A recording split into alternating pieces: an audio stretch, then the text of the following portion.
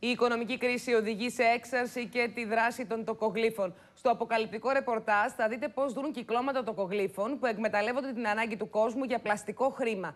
Οι επιτίδοι λοιπόν αναλαμβάνουν να αυξήσουν το πιστοτικό όριο των καρτών, κρατώντας όμως μίζα 45%.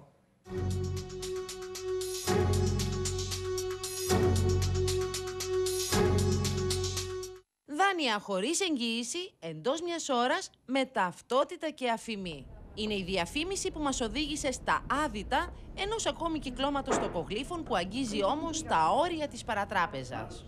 Δεν έχω χρήματα. Το ξέρω. Το, το είπα. Τα έχω πάρει. Δεν θα δώσω σε μένα. Το ραντεβού κλείστηκε τηλεφωνικά.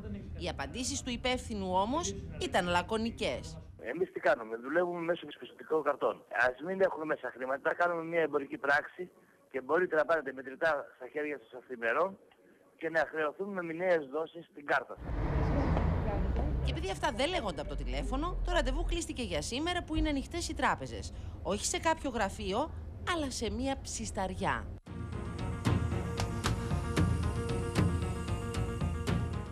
Από την πρώτη στιγμή ο άνθρωπος του κυκλώματος μας ξεκαθάρισε πως για εκείνους το γεγονός πως οι κάρτες μας είναι υπερχρεωμένες είναι αδιάφορο στοιχείο. Θα σας δώσω εγώ τις κάρτες. Όχι. Εσύ θα πάω. Θα πάμε να αγοράσουμε πράγματα. Μπράβο. Τα πράγματα τα παίρνουμε εμείς. Εσύ Πώς παίρνεις όμως με αυτά. τις κάρτες αυτές; Δεν έχουμε χρήματα μέσα. Τώρα πώς θα τα εξηγήσω όλα αυτά. Σου; Λέω γίνεται. Γίνεται. Λυπάμαι, η κάρτα σας δεν εγκρίνεται. Κι όμως τα μέλη του κυκλώματος με αυτήν την ίδια κάρτα, άγνωστο πώς, μπορούν να κάνουν αγορές ύψους 2.500 ευρώ, δίνοντάς μας σε εμάς το 55% της αξίας. Αυτά που αγοράζουμε έχει ΦΠΑ. Ναι. Αυτό το χάνεις. Ναι, το πληρώνω εγώ δηλαδή. Ναι. Υπάρχει και η εμπορική αξία. Ο Γιώργος που βγάζει το κατάστημα. Και αυτό το χάνεις. Που είναι της τάξης 25%. 25 συν 19. Σε 19. Α, ναι. Χάνεις ένα 45%.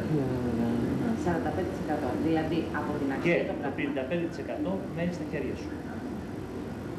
Άρα εγώ. Στις ε, 2.000 θα πάρεις 1.100.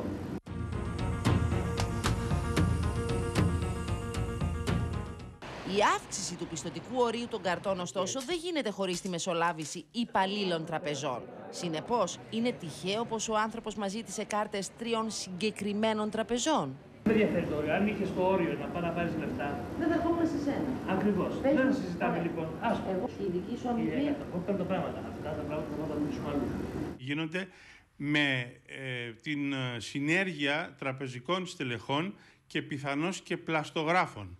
Το φαινόμενο έχει πάρει μεγάλες διαστάσεις. Η απάτη φυσικά δεν έγκυται μόνο στο 45% της μίζας που κρατάει το κύκλωμα, αλλά ο δανειολήπτης που θα καταφύγει στους αετονίχιδες θα κληθεί να πληρώσει και τους επιπλέον τραπεζικούς τόκους των 12 δόσεων.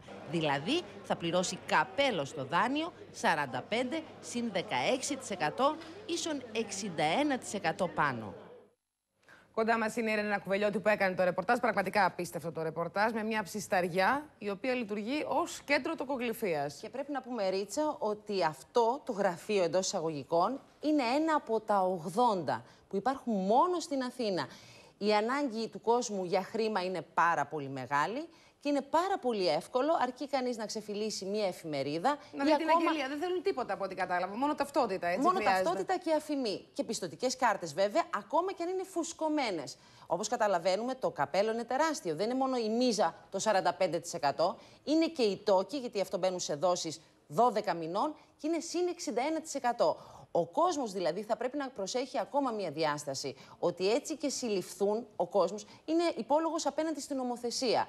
Γιατί Ναι, όλο γιατί βέβαια αυτό είναι. προσπάθησε να το κάνει κρυπτό και Ακριβώς. πηγαίνοντα σε ένα ιδιογραφείο το οποίο δεν είναι νομιμοποιείται να Ακριβώς. δώσει. Ψισταριά τώρα η ωραία. Και βέβαια θα έχει τοκογλυφία. ενδιαφέρον να βρούμε τα στελέχη των τραπεζών, γιατί η αύξηση του πιστοτικού ορίου γίνεται μόνο από ανθρώπους μέσα στην τράπεζα. Που βέβαια γίνεται για άλλους λόγους, για να ανεβεί το κασέ τους, να, ανε- να πιάσουν το στόχο τους, όπως λένε και οι κύκλοι των τραπεζών. Να σε ευχαριστήσουμε πολύ.